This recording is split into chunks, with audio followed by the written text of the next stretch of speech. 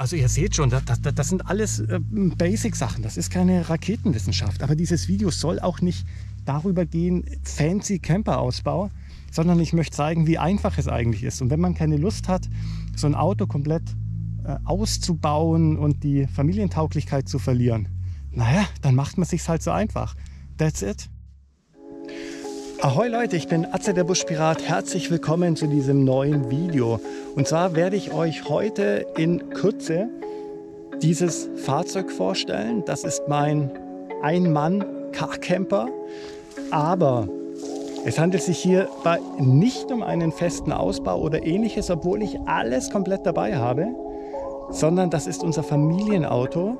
Das heißt, es ist absolut alltagstauglich und ich muss nicht irgendwelche Ausbauten rausnehmen, bevor meine Kinder mitfahren können. Ganz wichtig und das ist auch sehr, sehr, sehr spannend. Und wenn ihr wissen wollt, was ich mir so alles überlegt habe, dann viel Spaß mit dem Video.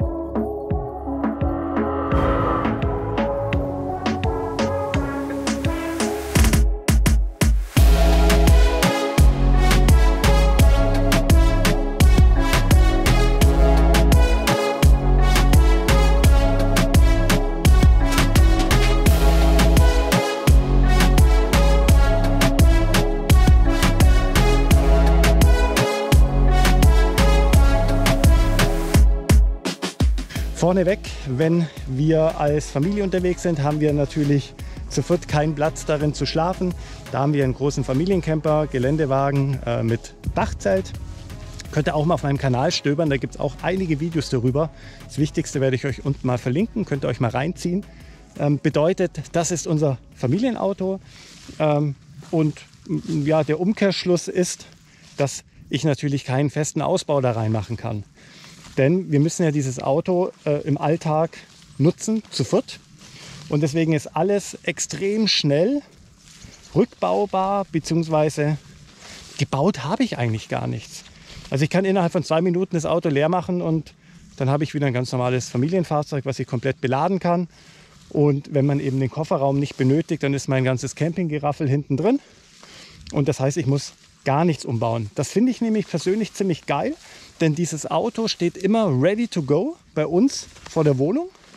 Und wenn ich Lust habe, eine Nacht draußen zu übernachten oder wenn ich auf unser Naturgrundstück fahre, um dort zu arbeiten und ich dort dann übernachten möchte, dann steige ich in dieses Auto und habe eigentlich immer alles beladen, dass ich drin schlafen kann, dass ich mich umziehen kann, mich waschen kann, ähm, äh, dass ich notfalls auch was zum Essen dabei habe, trinken sowieso, ist alles ständig immer drin. Und die seltenen Male, wo ich wirklich den Kofferraum für die Familie brauche, naja, dann nehme ich halt die eine oder andere Tasche kurz raus. Eine Sache von, wie gesagt, ein, zwei Minuten und das Ding ist ready to go für die Familie. Was braucht man, wenn man im Auto übernachten möchte? Natürlich als allererstes eine Schlafmöglichkeit und die werden wir uns jetzt mal anschauen.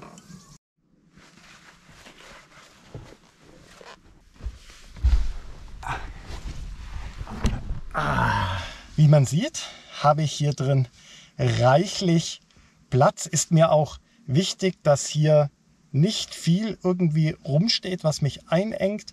Ich möchte, wenn ich hier drin liege, einfach auch ein gewisses Raumgefühl haben. Und das habe ich hier. Ich kann mich hier hinten schön anlehnen, kann gemütlich hier dann noch was lesen. Und wenn ich dann müde bin, kann ich mich ausgestreckt hinlegen. Und das reicht auch wunderbar von der Länge. Ich nutze hier zum Schlafen eine ganz günstige Klappmatratze. Äh, ich werde euch die Sachen unten auf jeden Fall verlinken. Hier Mikrofaser-Bettwäsche, dass die auch nicht zu viel Feuchtigkeit speichert. Ich habe hier noch einen kleinen äh, Sommerschlafsack, weil es heute Nacht relativ kühl war. Ein Kissen hinten und schon ist fertig die Liegefläche. Was ziemlich cool ist, äh, dass mein Kombi hat so eine zwei Und zwei Drittel sind genau die Breite von dieser Matratze.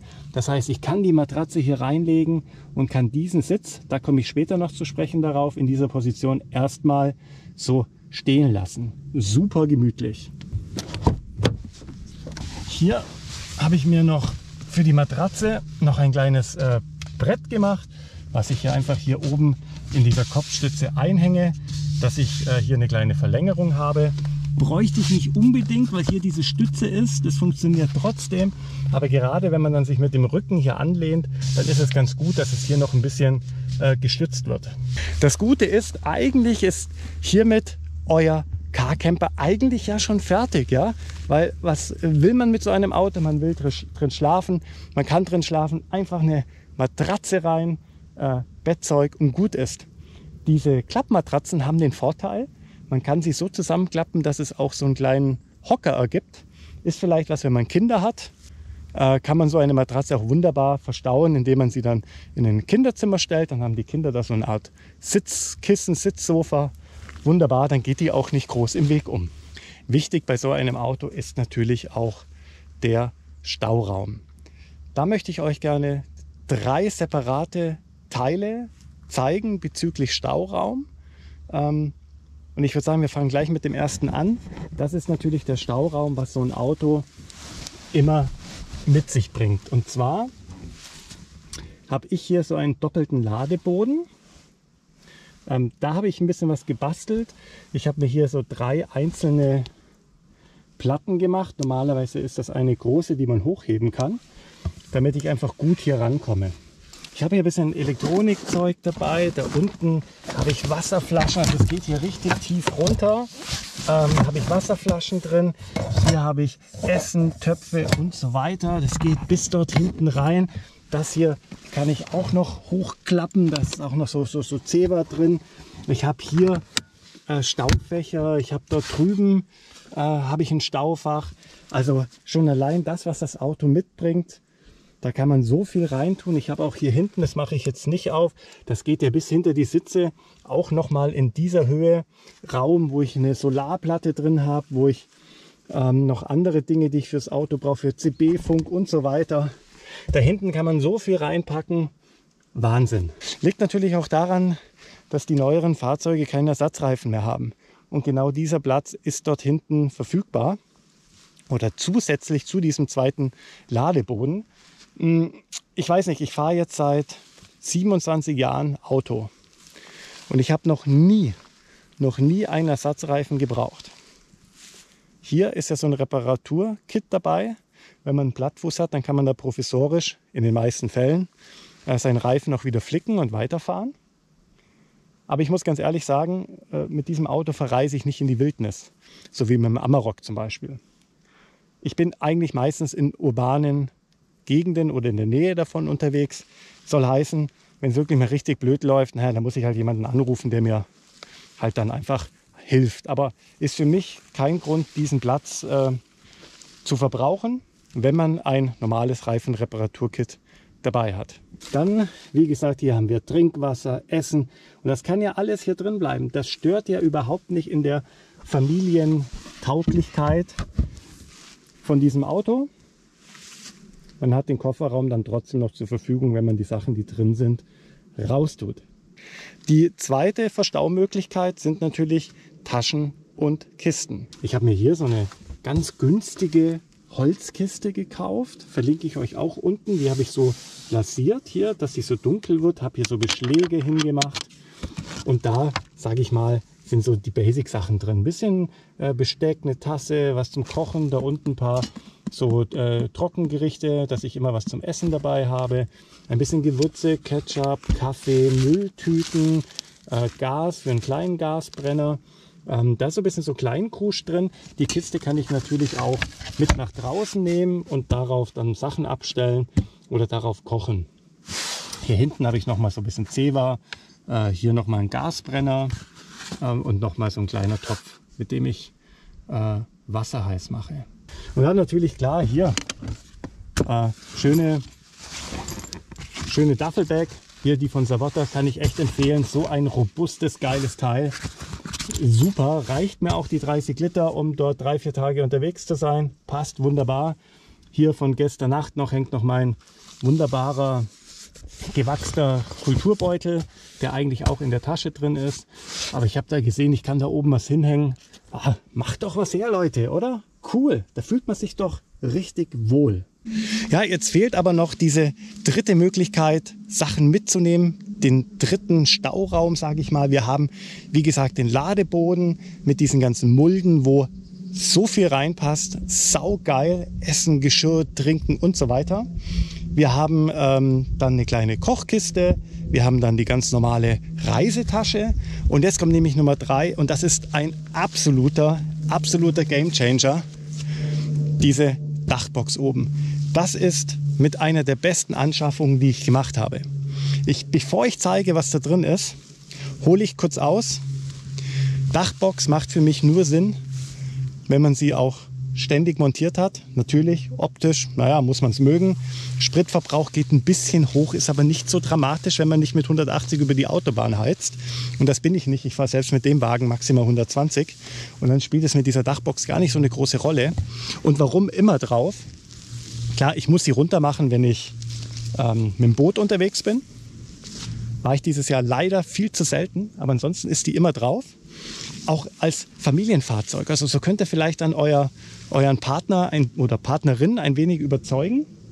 Äh, und zwar gerade mit Kindern, wenn man mal an den Strand fährt, wenn man mal im Urlaub äh, ist und also nicht campen geht, sondern vielleicht in einer schönen Ferienwohnung ist und am, am Strand baden geht und diese ganzen sandigen, nassen Sachen oder auch am Baggersee, wenn man dann mit den nassen kleinen ähm, Styroporbrettern dann wieder zurück zum Auto kommt, kann man den ganzen Siff einfach da oben reinpacken. Wenn man beim Baumarkt irgendwas Sperriges, irgendwie was, was Schmutziges, ein Sack Holz oder so, zack, da oben rein, ist man beim Wandern. Vier Paar schlammige äh, Wanderstiefel oben rein, ja. Dieses Teil schluckt einfach alles weg, ja. Und ähm, ich bin total begeistert. Ich habe, ich, ich sage euch was ganz ehrlich, ich habe früher Dachboxen gehasst. Ich habe die Leute ausgelacht, die mit diesen Särgen da auf dem Dach rumgefahren sind. Aber wieder mal ein Beispiel, man muss Sachen auch selber ausprobieren, um dann selber bewerten zu können, ist es wirklich so kacke, wie man denkt oder eben nicht.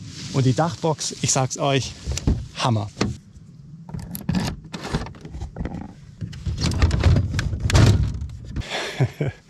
so voll ist die natürlich normalerweise nicht. Ich habe ein paar Sachen wie ein Stuhl, eine, äh, so eine Metallfeuerstelle, Auffahrkeile, ähm, noch so einen kleinen Beistelltisch, habe ich alles immer oben drin. Ein kleines Tab und, und, und äh, Stangen zum Abspannen habe ich auch dort oben drin. Mm, aber da ist die Box ein Viertel voll ungefähr. Ich bin eigentlich gerade unterwegs äh, zu einem Wochenende. Ich wollte äh, noch mal zwei Nächte im Wald schlafen und habe mich jetzt eben hier getroffen mit dem Grüße an den Matze, den Outdoor Buddy, der mit mir hier die Nacht verbracht hat, aber aus privaten Gründen muss ich leider die Tour abbrechen. Aber hier seht ihr schon, hier oben ist ein komplett gepackter Rucksack für den Wald drinnen. Hier ist, sind Wechselklamotten drin. Hier sind irgendwelche leeren Flaschen, leere Dosen. Auf der anderen Seite ist noch mein Müllsack. Das heißt, man nimmt sich so viel Raum, wenn man keine Dachbox hat. Dann müsste das ganze Zeug irgendwie noch ins Auto, auf die Sitze und so weiter. Und für mich ist bei so einem kleinen Camper das Platzangebot mit am wichtigsten. Für mich, meine Priorität. Deswegen alles andere Zeug da oben hin. Wenn man mal längere Zeit unterwegs ist, wie der Merlin, ach, gehen da auch mal Grüße raus, der gerade in Finnland irgendwo rumsitzt. Der ist auch mit seinem Auto Carcamping-mäßig unterwegs und fährt bis nach Skandinavien mehrere Wochen saugeil.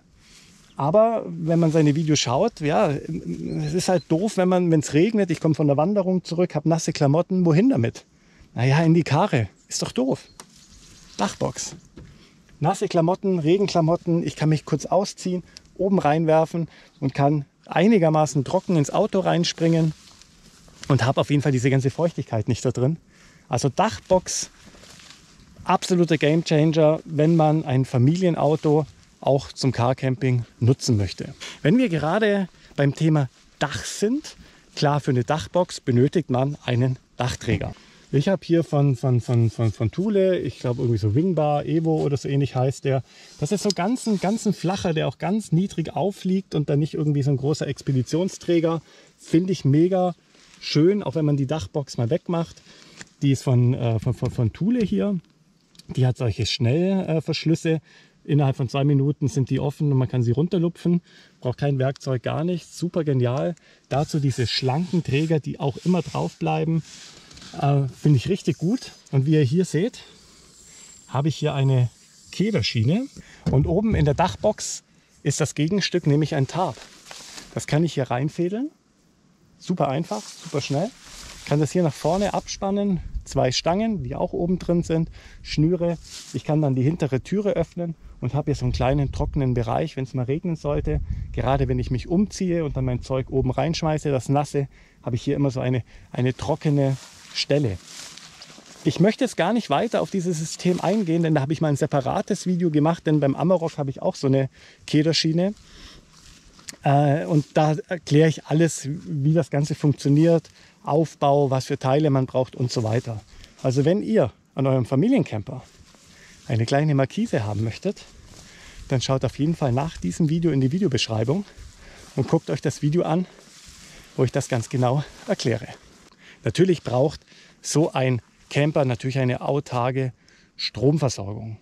Ich persönlich brauche diese Stromversorgung hauptsächlich, um mein Kameraequipment äh, zu laden und habe mich dazu entschlossen, eine Powerstation einfach mitzunehmen. Und diese befindet sich hier unten. Da sind zwei Sachen angesteckt.